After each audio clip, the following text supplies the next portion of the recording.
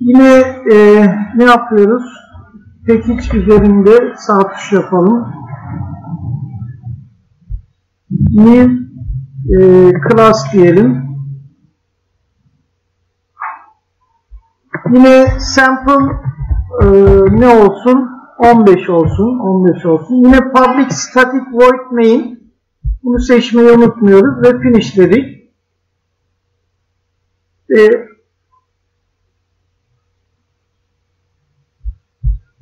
şu ne yaptık? Dün de açıklamalar getirmiştik mesela. Bugün de işte tek koşul sınaması diyelim. Sınaması.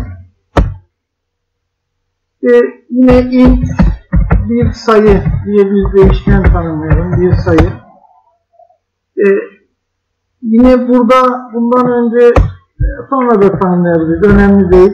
İşte Skynet bir klavyeden girişler için e, ne yapıyoruz?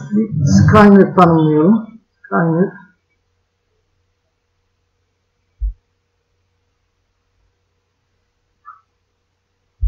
E, Java util. Bakın bunu seçtiğimiz zaman ne yapıyor? Yukarıya import Java util Skynet sınıfını import ediyor. Skynet klavye dedi. Klavye eşittir new Skynet. Ctrl Space ile bunları bir ne yapabiliriz? Tamamlayabiliriz. Bu bizden bakın bir search istiyor. İşte ne yaptık? Sistem nokta in yani input e, sınıfı var. Input stream. Bunu getirdik. E, SYS out ile ekrana e, ne yapalım? Bir tam sayı bir tam sayı giriniz diyelim. Bir tam sayı giriniz. E, klavyeyi de e, ne yapacağız? Bir sayı eşittir. Klavyeden bir sayı girilmesini istiyoruz. İşte dün bahsettik. int ise bu next in byte'sa next byte işte double'sa next double işte belli değilse direkt next.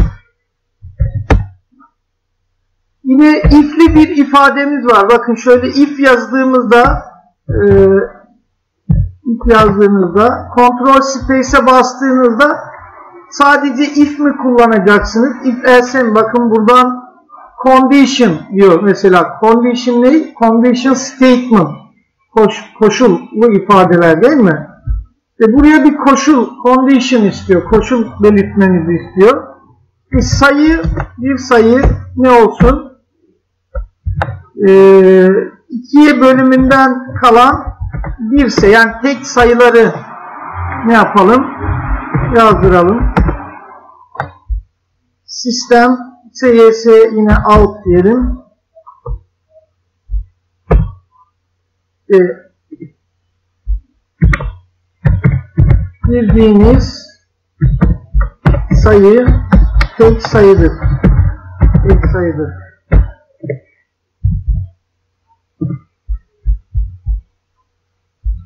Noktalı virgülü de ne yapmıyoruz? Unutmuyoruz.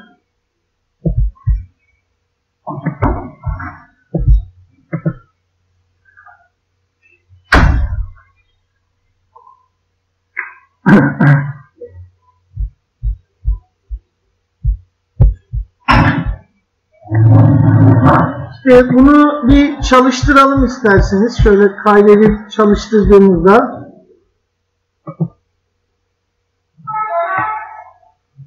işte Java Application bu tek koşul sınaması oluyor. Şimdi biz e, bir tam sayı giriniz diyor mesela. İşte ne yaptık? 5 girdik. Girdiğiniz sayı tam sayıdır. Ama 2 dediğimizde e, hiçbir şey demeyecek. Yani bunu e, şöyle kopyalayalım. Yine altına yapıştıralım. Şurayı bir açıklama satır yapalım. Yani çift sayıları yapmış olsaydık şunu bir şöyle e, açıklama satırı yapalım. Nereden yapıyoruz?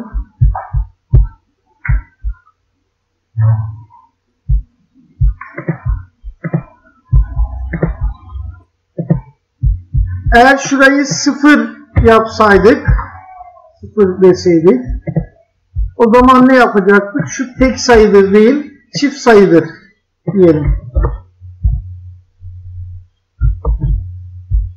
Şuraya ne diyeceğiz? Şimdi çift sayıdır. E tabi bu tek koşul sınamasına bir örnek. Bunları adım adım yine yapacağız. İşte 4 girdik. Ne yapıyor? Çift sayıdır diyor.